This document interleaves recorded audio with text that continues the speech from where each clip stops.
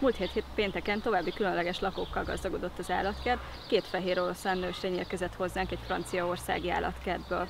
A fehér oroszlán nem egy külön faj, hanem az oroszlánok alfajának egy világosabb színváltozata.